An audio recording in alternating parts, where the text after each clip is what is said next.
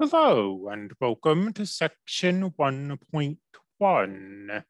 In this section, we're going to lay a lot of groundwork for the class. We're going to state some major definitions, for example, matrices and systems of linear equations. And we'll start um, gathering together the tools we need to solve systems of linear equations.